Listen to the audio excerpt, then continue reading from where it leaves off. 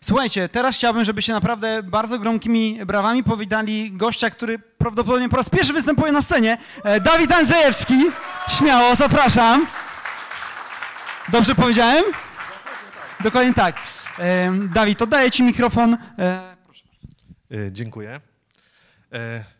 Ja nazywam się Dawid Andrzejewski, reprezentuję startup e, Shuffle. My z zespołem pracujemy nad wizualnym edytorem e, dla osób, które wiedzą, co zrobić z kodem źródłowym, ale nie mają kompetencji w obszarze designu, e, czyli wprost budujemy kanwę dla web deweloperów. Temat mojej prezentacji to seria fortunnych zdarzeń. Ja opowiem o trzech przypadkowych sytuacjach, które sprawiły, że my dzisiaj jesteśmy w tym momencie, w którym jesteśmy, a później podsumuję tym, co uważam za czynniki, które sprawiły, że nam się to udało. Dzisiaj w Shuffle 7 osób w zespole, w zeszłym roku 1,5 miliona złotych przychodów, w tym roku osiągniemy e, ponad 2 miliony. E, To jest estymacja na podstawie ostatni miesiąc razy 12.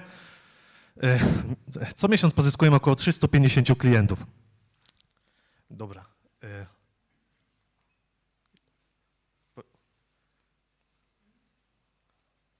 A, dobra, już, e, sorry, widzę, w którą stronę jadę. No, co jest? Czemu tylko dwa slajdy są?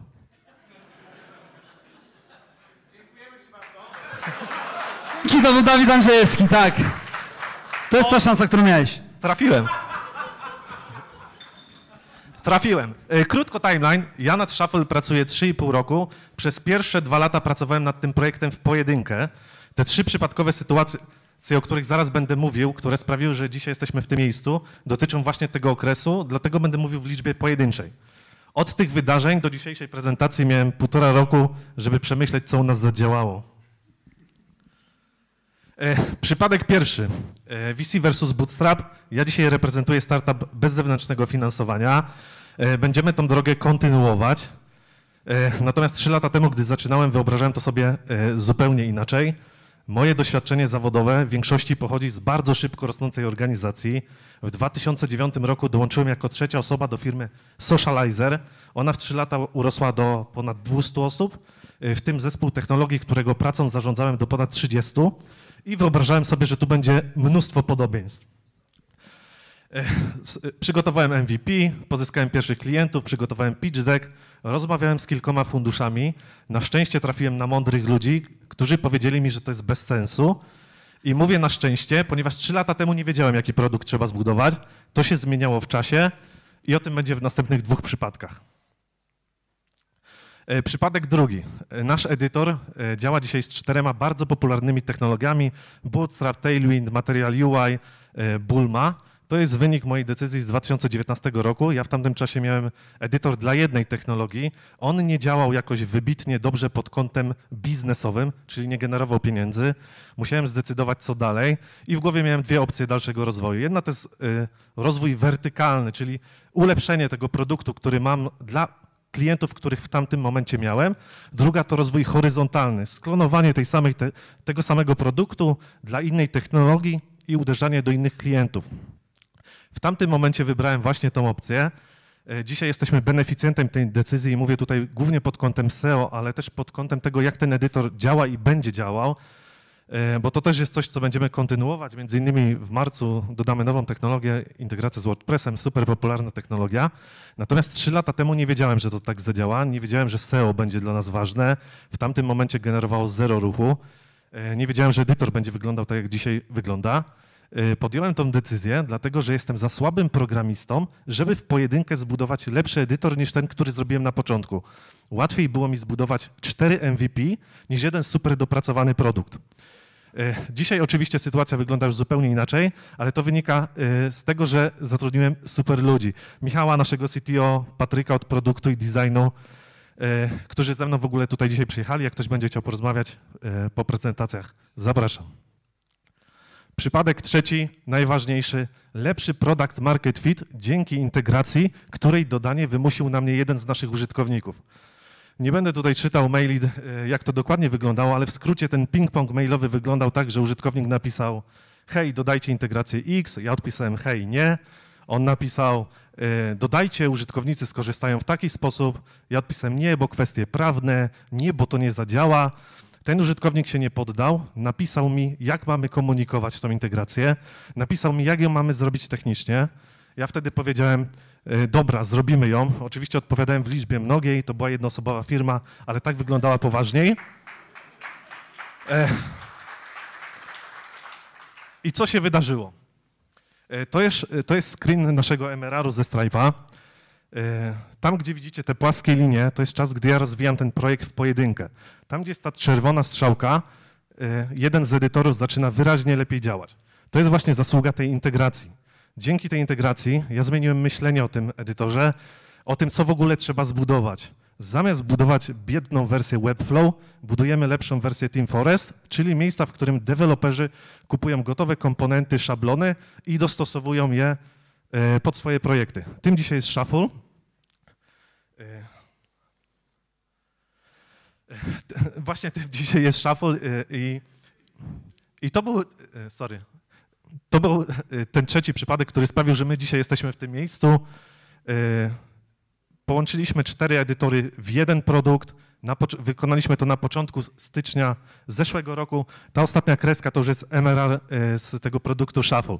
Czyli dzięki temu przypadkowi jesteśmy w tym miejscu, w którym jesteśmy. Po drodze tych przypadków było więcej, te trzy były najważniejsze. E, Podsumowując, e, kilka dni temu na, naszym na moim Facebooku napisałem, że po wysłuchaniu tej prezentacji i tego, jak doszliśmy do tych rezultatów, osoby, które nie rozwijały takich produktów, mogą pomyśleć, że dojście do jakiejś sensownej trakcji, e, my teraz miesięcznie pozyskujemy około 350 płacących klientów, jest całkiem proste, bo nam to wyszło trochę przy- przypadkowo i coś w tym jest. Natomiast w tej historii są trzy kluczowe składniki, które sprawiły, że to w ogóle było możliwe. Pierwsze to jest senior MVP developer w zespole, czyli osoba, która jest w stanie zrobić pierwszą wersję produktu, ale też sprawnie tworzyć eksperymenty. Dzisiaj nie wyobrażam sobie sytuacji, y, w której y, no, tworzę taki produkt, y, nie mam takich kompetencji, nie mam takich kompetencji w zespole, muszę prosić freelancerów, software house o stworzenie wyceny, później kilka tygodni czekanie na wdrożenie tego eksperymentu, to by się po prostu nie wydarzyło. Druga rzecz to pro- product funder fit, czyli sytuacja, w której kontynuujesz pracę nad produktem, mimo że nie ma to ekonomicznego sensu. Gdybym ja myślał racjonalnie, to ten projekt należało zamknąć po sześciu miesiącach, wrócić do pracy na etat, bo wtedy nie wyglądało, że coś z tego będzie. Trzecia rzecz, która super zadziałała i pomogła dojść tutaj, gdzie jesteśmy, to jest oparcie y, tego produktu o super popularne technologie. E, Łatwiej jest zbudować View Storefront niż Storefront, łatwiej jest zbudować Shuffle for Bootstrap niż Shuffle. Nie gwarantuje to powodzenia, ale ułatwia mnóstwo rzeczy na start. Pozyskanie pierwszych y, użytkowników, feedback od tych użytkowników, podpięcie się pod SEO, pod frazy, które już mają jakiś istotny y, wolumen wyszukiwań. Ja mówię o technologiach, ponieważ technologia jest mi bliska. Pewnie gdybym siedział blisko e-commerce, to mówiłbym o platformie Shopify, marketing to Notion, Airtable i tak dalej. Oczywiście nie, za, nie do końca chcę, y, nie chciałbym działać w tych niszach, natomiast od tego bym zaczynał. I to jest w sumie wszystko, co chciałem powiedzieć o naszej historii. Y, Nikt nie wie, co na pewno zadziała, dlatego trzeba wydłużać czas, w którym możemy y, komfortowo tworzyć eksperymenty, y, nie poddając się za szybko, y, nie rezygnując. Cały czas mamy na tą szansę, tą szansę, że na coś trafimy. Mi zajęło to dwa lata. Dziękuję. Wielkie dzięki, brawo. Jakieś pytania?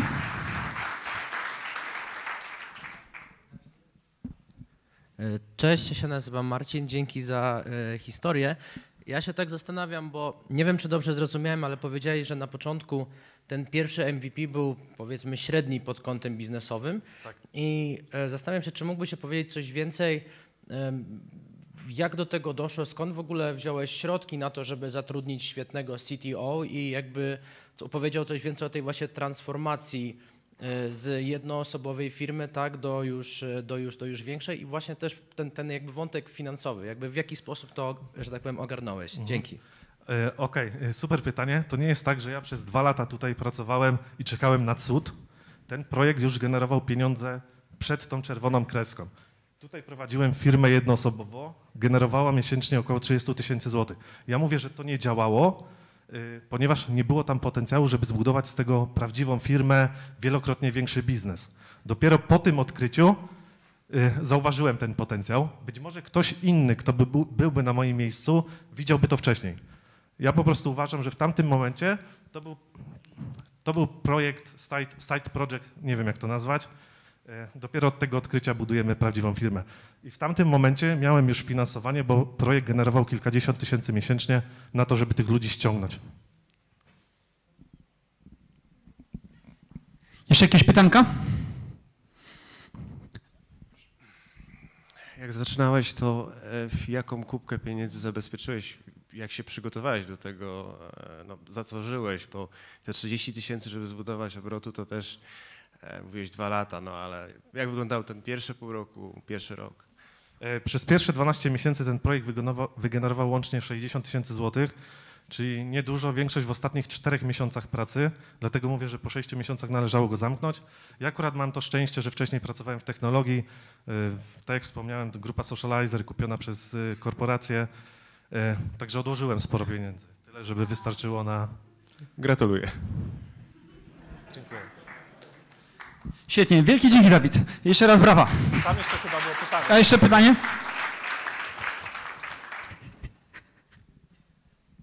Dzięki. Bardzo fajna historia. A w takim razie, gdzie chcesz być, nie wiem, za, za, za 3-5 lat? E, My budujemy firmę, która ma być warta 100 milionów złotych. To jest zupełnie inny biznes niż budowanie unicornów. Celujemy w to, żeby za 2-3 lata generować 10 milionów złotych przychodów i 5 milionów złotych zysków. To w zupełności wystarczy, żeby zbudować firmę wartości 100 milionów złotych. Jesteśmy w jednej piątej drogi. Piękne cele, brawo.